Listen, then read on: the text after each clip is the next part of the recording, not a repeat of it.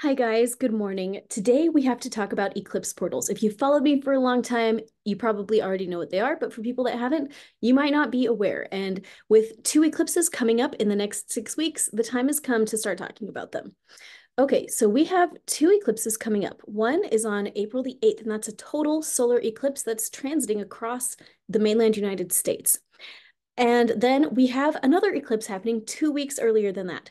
And that is a lunar eclipse that will be taking place on March 25th or March 24th, depending on, you know, it's like right at like midnight-ish. So, um, but for most of the US, it will be on the 25th at like one in the morning or something. I have the chart somewhere and we might look at it later um, in the same video, but I wanted to talk about the importance of eclipse portals so that as we head into this one, you know what you're getting into the first thing that we have to understand is that eclipses are pretty common. They happen uh, multiple times a year, every single year. They don't always get as much press as this one on April 8th because a lot of times they aren't total eclipse and a lot of times they aren't visible from whatever section of the world that you're living in, right? Um, again, any one location can expect to see a total solar eclipse only once every 375 years. So most people live their whole lives never even having the possibility of exposure to a total solar eclipse that they can see. It's, um, I don't know, it is what it is, but we all experience eclipses all the time and we just don't know that they're going on. So eclipses always happen coinciding with full moons and new moons, okay? What's happening is um, an, a lunar eclipse always takes place during a full moon because it's as far away uh, every time you have a full moon the sun is as far away as it can possibly get from the moon.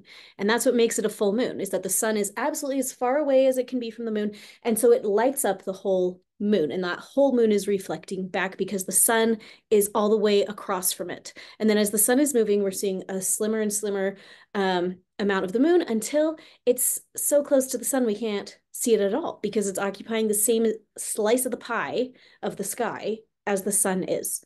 And so the sun, therefore, it cannot reflect off of the sun. And so we don't see it. And that is the new moon. Okay. So we have the full moon, we have the new moon, and that and they always happen exactly two weeks apart. That's why we have um, the you know the four week lunar cycle, 28 days. So you will always have a lunar eclipse on the night of a full moon. It's a full moon and a lunar eclipse at the same time. And what makes it a lunar eclipse is that the Earth itself comes right between the sun and the moon when the Earth lines up just so that it blocks out the sun's reflection off of the moon. It blocks the sun's light from reflecting off the moon. That's when we get a lunar eclipse. Um, when we get a solar eclipse, it's happening at the same time as a new moon, and it's when the it's when the moon comes in between the Earth and the sun, and the moon blocks out the sun.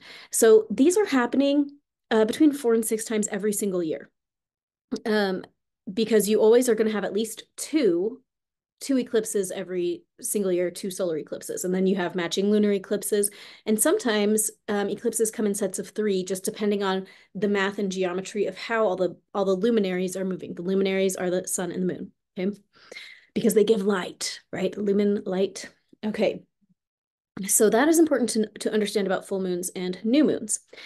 Now, when you look at a chart of the night sky, um, looking at it from the perspective of the night sky as this giant cosmic clock that we're all living in. And if we come at it from what I would call an astrological perspective, which I'm a Christian and an astrologer, astro logos means the stars and the words, the words of the stars, viewing the stars from this symbolic perspective.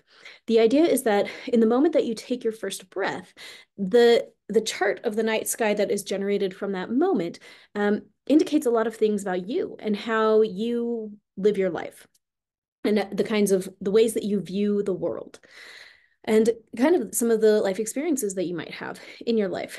Um, but why am i talking about that? Because the sun is dealing with your total sense of self um, your your like core personality. If you say i'm an aquarius that means that you were born when the sun was in the sign of aquarius. If you say i'm a taurus it's because you were born during those 30 days that the sun was in the constellation of Taurus from our perspective, you know. It's not actually like rubbing elbows with the actual stars of Taurus, but from our perspective, it looks like the sun is is transiting through that area of the zodiac. And then we say, you're a Taurus, you're a Virgo, you're a Leo, or whatever we say.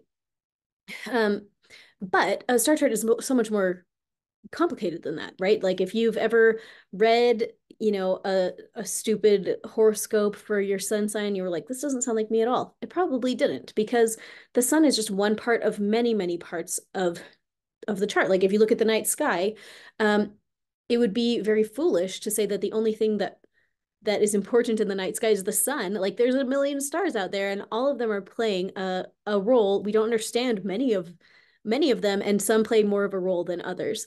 But we are just as complicated as the total night sky. And that complication changes person to person like every all of us took our own first breaths in different times in different places in different circumstances and we see that complexity reflected in how complex all of us are and how we interact with each other. So um, the sun represents like the core personality. The moon is going to be your internal side. It's going to be your feelings. It's going to be the way that you emotionally approach the world and the lens through which you emotionally perceive the world. Um, a lot of times the sun and the moon are so default to us that um, we just kind of assume that everybody else thinks about the world and feels about the world the same way that we do, but that is not true. And when you understand your sun sign and your moon sign, a lot of times a star chart can start making a lot more sense person to person. But what happens on a personal level during an eclipse? Um, let's think about it.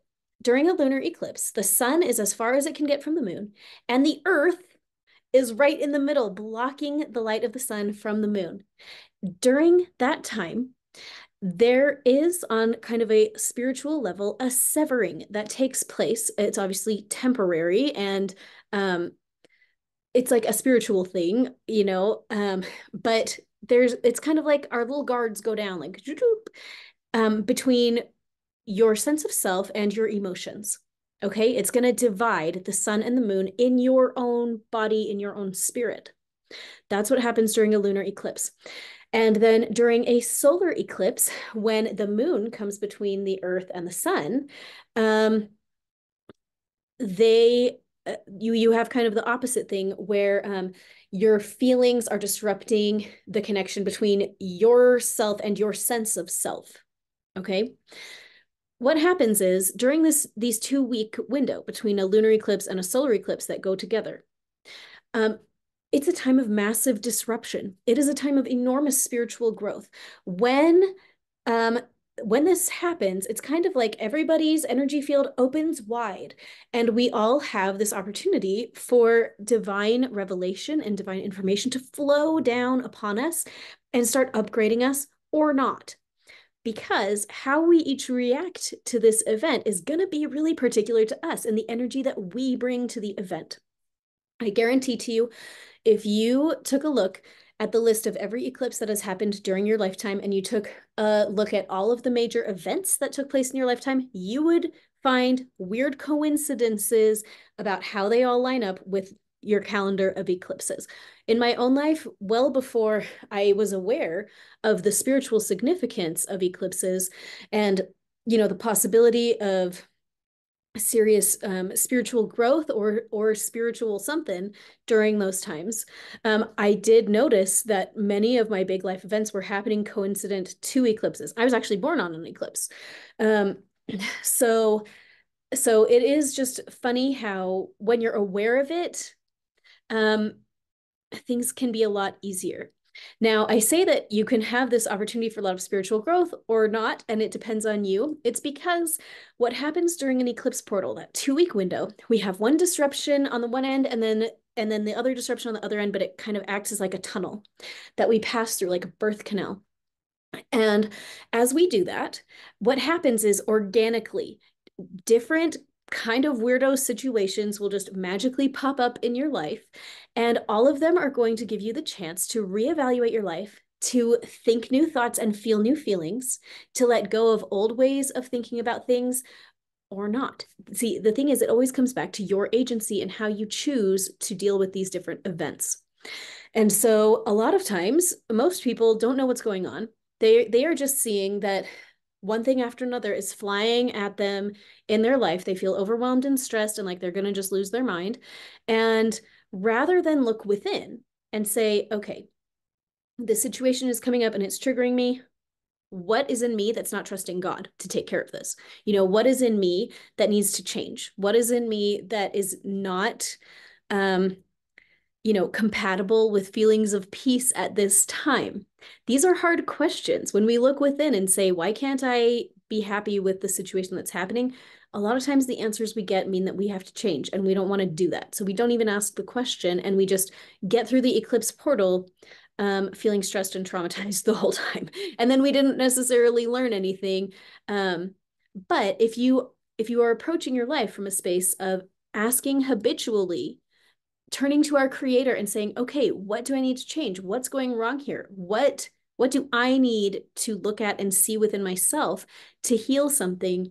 That's when the magic happens. And that's when um, eclipse portals can kind of unlock us and help us just bust through a ton of of stuff at the same all you know all in two weeks so eclipse eclipses happen how do i put this during an eclipse portal, we have this amazing opportunity to have 18 months worth of spiritual growth condensed into just two weeks. This is because um, uh, eclipses happen because of the movement of the nodes, the North Node and the South Node. And the nodes take 18 months to transit into an into another sign or into another axis of signs. And so that's why they say it takes that's why that's why they say this.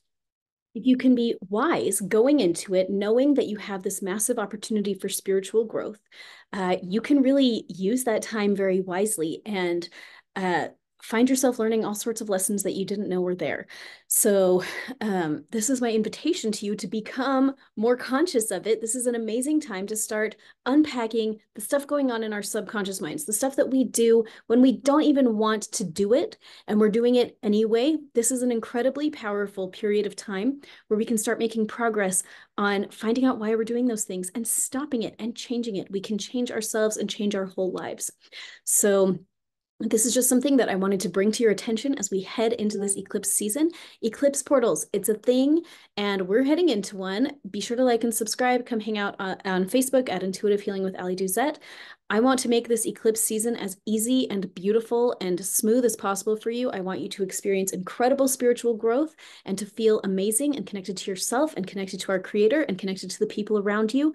I want you to have the best kind of life that you can have. So come on back another day and we're going to keep unpacking this eclipse. Thank you guys for being here.